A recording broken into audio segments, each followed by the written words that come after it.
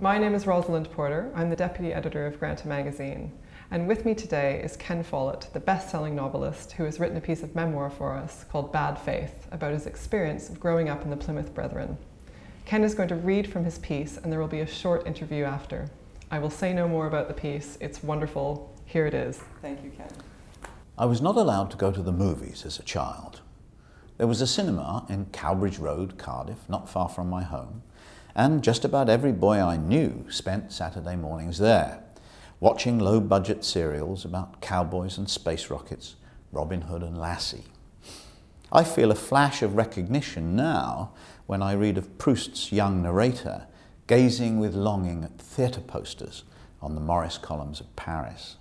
I went instead to the public library, a hundred yards away from the cinema in the same street. I probably learned more there than my friends did at the movies, but I did not appreciate that at the time. On the contrary, I was outraged by the prohibition. We called ourselves the Fellowship, or sometimes the Church of God, but the world knew us as the Plymouth Brethren. This movement split from the Church of England in the 19th century. Such groups are as fissile as Trotskyites, and they splintered again and again. I was born into the Needed Truth Brethren, named after our magazine Needed Truth. Truth is an important word in Protestant sects. Their key text is John Bunyan's allegory, The Pilgrim's Progress, one of whose heroes is Mr. Valiant for Truth. Their duty is not merely to seek the truth, but to proclaim it bravely, even or especially in defiance of misguided orthodoxy. Protestantism is a literal term. It was always a protest movement. My father and his brother had married two girls who were cousins, conjoining three already large families, and almost every member of the resulting clan was in the fellowship, including my four grandparents. It was forbidden to marry outside. Every sect needs jargon. We did not have churches, we had halls. Services were called meetings, the congregation was the assembly, the elders were overseers. We went to meetings three times every Sunday, and sometimes on Saturday afternoons too. The adults also went on at least one weeknight. I could bear all that, but from a young age I had trouble with the sect's strict Puritanism. In our house there was no TV, radio, or gramophone. These things were worldly, an important term for us. I was often told, Our citizenship is not of this world, a saying which paraphrases the letter of Paul to the Philippians, in which he says, Our citizenship is in heaven. This was interpreted to mean that we should not join political parties, trade unions, the armed forces, or any kind of social club. The fellowship paid much more attention to the petty rules of Paul than to the open hearted wisdom of Jesus. Another bad word was pleasure. We did not go to the theatre, concerts, or sporting events. I recall being told that it was all right to go to the motor show to buy a gospel van, but to spend a day there just because I liked cars would be wrong, for it would be nothing but pleasure. It was an egregious sin to enter a church of another denomination, especially another branch of the Brethren. I learned many years later that my father's adolescent rebellion had taken this form. At the age of 15, Dad went to a meeting of the Open Brethren.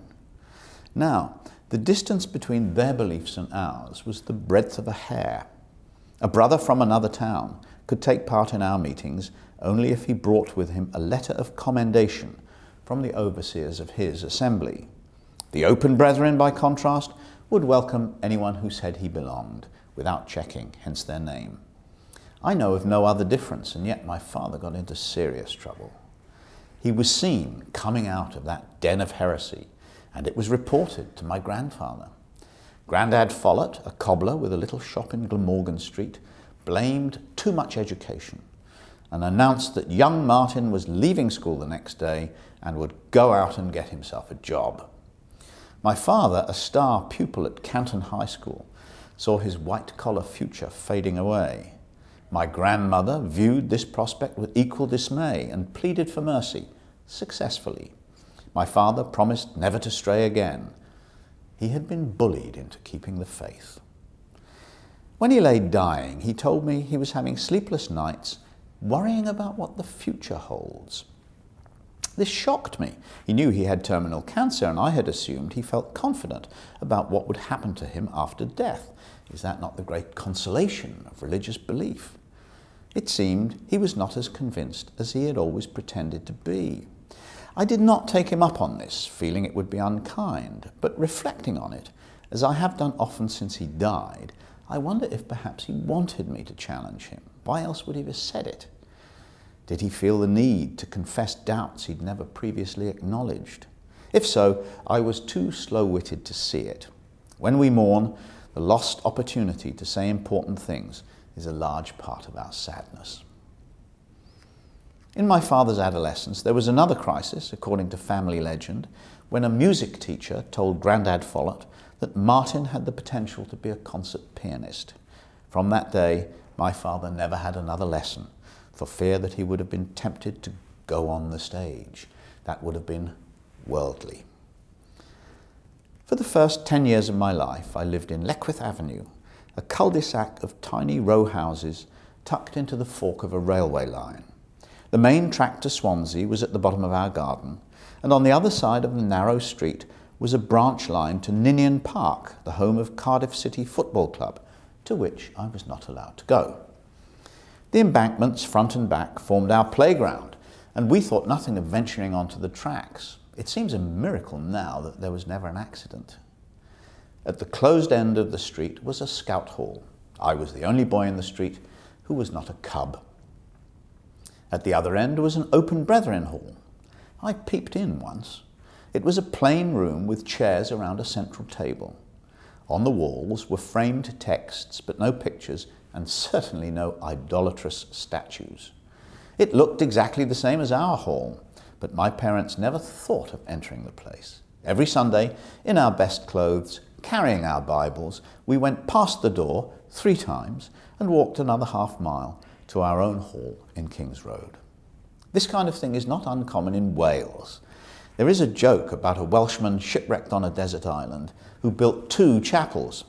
When he was rescued, they asked him what the second chapel was for, and he said, That's the one I don't go to. My Uncle Ken left our sect and joined the Navy.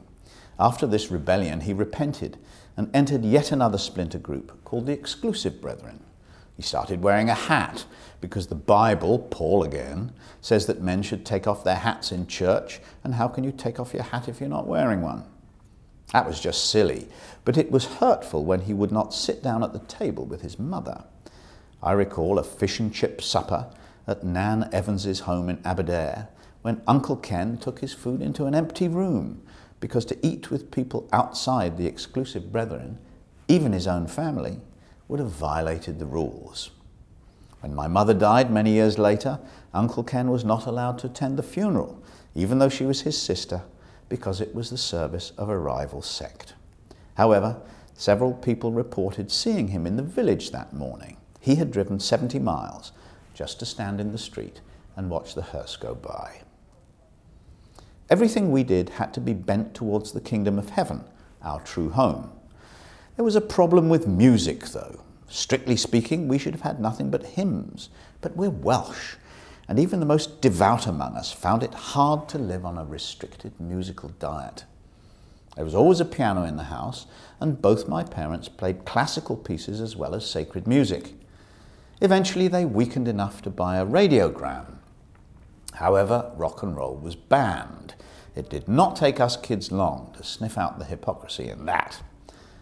American fundamentalists were equally fanatical but smarter and they produced records that sounded like pop music but had religious lyrics. I recall a swinging number that went something like this. This world is not my home, I'm just a passing through. If heaven's not my home, then Lord, what will I do? I caused a crisis by buying an album of this kind of stuff called Canaan's Land. The grown ups hated it, but had trouble defending their position. My formidable Uncle Eddie said it was jungle music. In response to that, I said, Uncle Eddie should not criticize other people's forms of worship. This piece of precocious impudence was repeated all round the family, causing shock, but some laughter as well.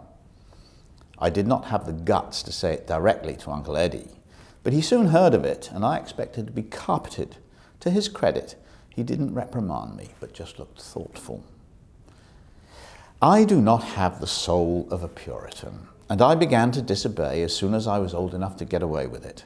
I loved movies and dancing on Saturday night and smoking cigarettes. Tobacco was prohibited as a lust of the flesh. I bought a guitar and did not use it to play hymns. The doctrine was harder to throw off. In my early teens, I still believed in the literal truth of the Bible. Everyone in our family read the Bible every day. I followed a course of home study that required me to read all 66 books without skipping anything. I had to answer questions on each book before going on to the next. This did me no harm. Much of the King James translation is by William Tyndale, one of the greatest ever writers of English prose. I should have read it twice. My parents also read the Times and Reader's Digest, and my father made the crucial mistake of ordering by mail the Reader's Digest Great World Atlas. I read everything printed that came into the house. I think all writers do this when young. And when I sat down to read the introduction to the Atlas, I learned about continental drift, the theory that the continents are parts of a jigsaw that are slowly moving apart over millions of years. And so I began to doubt the Bible, thanks to the Reader's Digest. I felt tremendous guilt about these doubts. I was going against my parents' most profound convictions. The open arguments were all with my father, but the moral pressure came from my mother, who in later life used to warn my Catholic Filipina housekeeper that she was going to hell. I was much helped by Edmund Gosse's autobiographical book, Father and Son, the story of a young man who rejects the Plymouth Brethren. It was a great comfort to me as an adolescent to realize that I was not the first boy to suffer these agonies of conscience. My crisis came over the doctrine that our citizenship was not of this world. Another version of this edict came from Paul's second letter to the Corinthians Be not unequally yoked with unbelievers. A yoke is a wooden frame placed on the necks of a pair of draft animals so that they can pull the plough together. And Paul's instruction refers back to the Old Testament book of Deuteronomy Thou shalt not plough with an ox and ass together. The brethren were too special to ship. The brethren were too special to share a task with the rest of the unenlightened world. A group of adolescents from our assembly, led by one of the overseers, started to visit an old folks' home once a week for an hour on Wednesday evenings. We played board games with the residents and listened to them talk about the old days. They broadened our minds and perhaps we brightened their lives a little. Incredibly, this activity was judged by the other overseers to be an unequal yoke and forbidden. By now I was 16 and able to recognize arrant nonsense when I saw it, and I left the fellowship never to return. I was still a Christian, though a troubled one. About this time I had to decide what to study at university, and I chose philosophy in the hope that it would help me resolve my doubts about the existence of God. It certainly did. At University College London, the merciless light of linguistic philosophy was shone on the ideas of Plato, Descartes, Marx, and Wittgenstein. We did not discuss religion much, but privately I applied the tests of evidence and logic to religious ideas. None of them passed. By the time I graduated, I was an atheist. And an angry one. I felt I'd been duped I resented the hours I'd wasted at meetings, the childhood without movies or television, the prohibition on joining the Boy Scouts. Most of all, I was angry that I'd believed the rubbish that I'd been fed.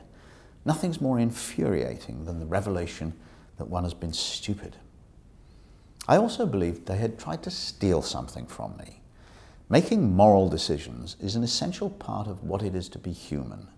Most people would agree with that, but it carries an implication noted by the existentialists.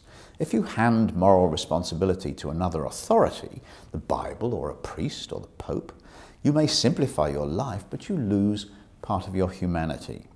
This is what Sartre calls mauvaise foi, translated as bad faith or self deception. Philosophy turned out to be the beginning, not the end, of my journey. I'm reminded of Picasso's famous remark it took me four years to paint like Raphael, but a lifetime to paint like a child. I took three years to become an atheist, and I've spent the rest of my life finding my way back by an implausibly roundabout route to a kind of spirituality. It happened like this. When I started to try to write novels, I found I had no vocabulary for describing buildings. To remedy this defect, I read A Concise History of Western Architecture by Robert Furneaux Jordan. It was the beginning of a lifelong enthusiasm, and more than that. The most fascinating of all buildings for me were the great European cathedrals of the Middle Ages. I began to visit cathedrals and read about them and I was soon struck by the questions that occur to most people when looking at such a building. Why is this here? Why did the people of the Middle Ages want one of these? And they wanted them badly. A cathedral cost a fortune. A moonshot is a comparable modern project. Yet the men and women who put it up lived in wooden houses without chimneys and slept on the floor. Construction was extraordinarily difficult with hammer and chisel and an iron measuring rod. Just look at the complex three-dimensional curves of a vaulted ceiling. Then remember that the master mason had no knowledge of the cubic equations that describe such shapes. And building took decades, often employing multiple generations of masons and carpenters. What drove these people? I soon began to think that this question might power a long, popular novel. There was only one novel, as far as I could see, about cathedral building The Spire by William Golding, which focuses on a monk's spiritual relation to the tower he's putting up. You'd be hard put to find two novelists as different as Golding and me, and I felt confident that what I wrote would be nothing like his book. The Pillars of the Earth is the story of the building of a fictional medieval cathedral and of the way the construction project changes the lives of everyone in the neighbourhood. Right at the start, I saw that the story would have to feature at least one admirable character who's a sincere Christian, if only for realism. I gritted my teeth and created Prior Philip, a very practical monk who cares for the spiritual and material welfare of his people here on earth and never tells them to suffer patiently because they will be happy in heaven. He's probably the best character I've ever written. It's a long book, 375,000 words, and it took me three years and three months to write. I found it extraordinarily difficult, and when it was finished, I experienced imagination fatigue for the first time. But the result was on a level different from anything I'd written previously, and it found a huge audience. And of course, I saw the irony of an atheist writing a much loved novel about a church. When I met Barbara, my second wife, I became actively involved in the Labour Party, and I was surprised to find that some of our allies were devout Christians. It turns out that there are many Prior Philips in the real world, anguished by the material and spiritual poverty of some of their neighbours, just as Labour Party activists are. I began to feel embarrassed by my contemptuous, youthful dismissal of believers. My discomfort was eased when the Catholic press attacked Barbara and me for being pro choice. We were used to unfair reporting from the Conservative papers, of course. In fact, when we were pilloried on the front page of the Mail on Sunday, we took it as a sure sign that we were doing something right. But somehow, I expected Christian journalists to be more honest. Silly me. I continued to visit cathedrals long after Pillars was finished, and eventually I had to admit that something else was drawing me to these places.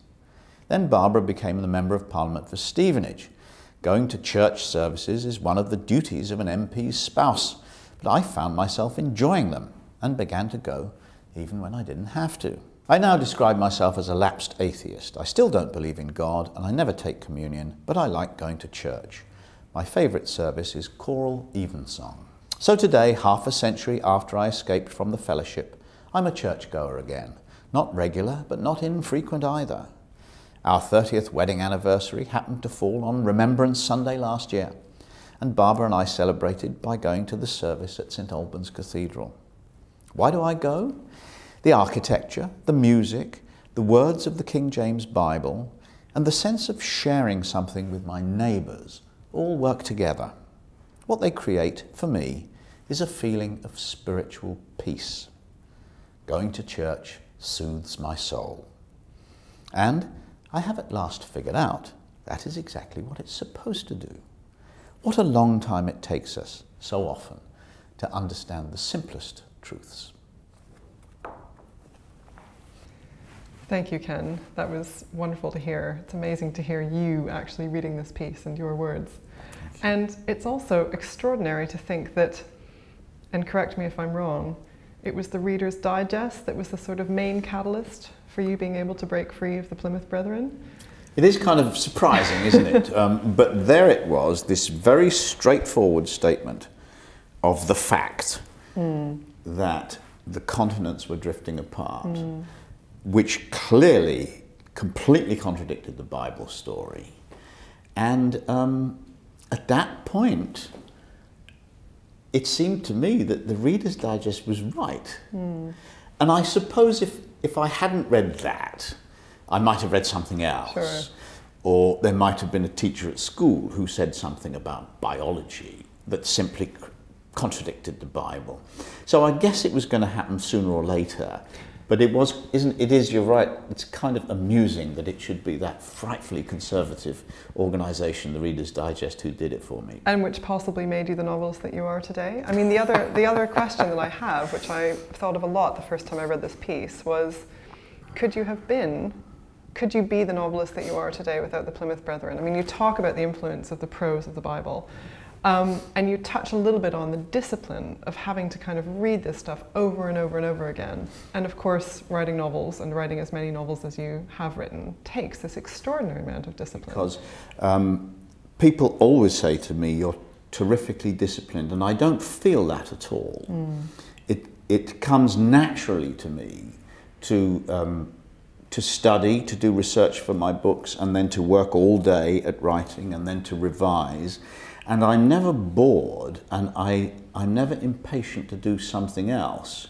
Um, it's, it's, not, it's easy for me. Mm. I, hmm. I kind of don't really feel, I don't feel that I'm a disciplined person because I don't have to force myself. But yes, you're probably right. Mm. That hmm. probably comes from that rather strict upbringing. Mm. And when you read this Reader's Digest Atlas, you were about 16. Yes, but a bit less than that, yeah. And you say in the piece that that was when you sort of left the Brethren. But what does that mean? I mean, you're 16 years old, presumably you still lived at home with your parents, and presumably you were still financially and emotionally dependent on them for lots of things. Yes. How did they take it? How did they take this decision? And, and what did it actually look like? How did your life change? Well, I stopped going to those meetings. Mm. Um, and they were very upset about it. In fact, they told me more than once that they believed I was going to go to hell. Um, if they really believed that, I mean, if I thought my children were going to hell, I think I'd put my head in a gas oven. Mm. So I can't quite get my mind round what they really thought in their deepest hearts. But they were very troubled um, mm. by my loss of faith mm. in all this stuff. Um, as time went by, theirs weakened a bit although not very much, particularly not my mother's. Um, and uh, one of the things that happened in the course of this conflict was that my father stopped giving me any money. Mm. Now, of course, I didn't need much, but I did have to get the bus to go to school. Mm. Uh, and so I got a job um, washing up in a hotel on Sundays. They hated the fact that I was working on Sunday. Sure. Um, but on the other hand, they weren't giving me any money. So I needed a job to get to school. Mm. And uh, so uh, we continued. I mean, the conflict continued. And what about your friends and your peers? I mean, presumably your social life completely changed as well. Uh, yes, that's true, but, but the, the group in the church that I socialized with, with was the group that went to that old folks home together, mm. and we all left together oh, because see, we okay. all saw, saw that this was nonsense. Yeah. And uh, in fact, one of the girls in that group um, was the girl I married, was my first wife, Mary. so um, my social life didn't suffer very much. Good, glad to hear it. um, I think this is the first time you've written about this experience of having grown up in the Plymouth Brethren Yes. and becoming an atheist and then becoming, as you say, a lapsed atheist. Yes, I've never written about this before, and I've, I sort of forgot about it for a long time. Um, but I'm writing a novel now, which I've almost finished, about the 16th century and about the wars of religion. And that brought back to me all this stuff about Protestantism and Catholicism. And did it bring back the feelings as well? I mean, you talk in the piece about being so angry about being fed something that's so Yes. stupid. And the sort of, there's a slight sort of anger, anger there.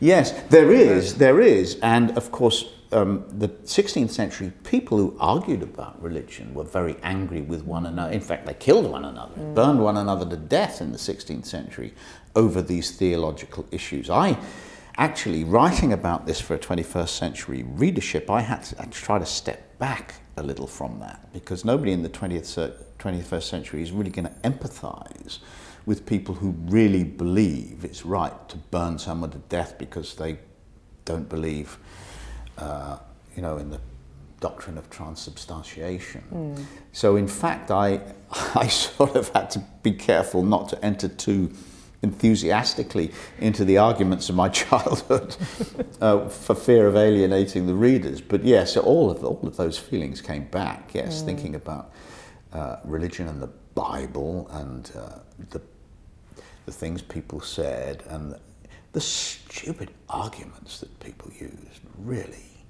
My dad was, was a sincere man, but he would, occasion, he would occasionally come up with really specious arguments, you know. And um, looking back, I thought, I think some of the things he said to me weren't really worthy of his intelligence. Hmm. Do you think he knew that? Do you think he was parroting something or and possibly the stupidity of the arguments had to do something with his disbelief? It's very possible. It's very possible that he was.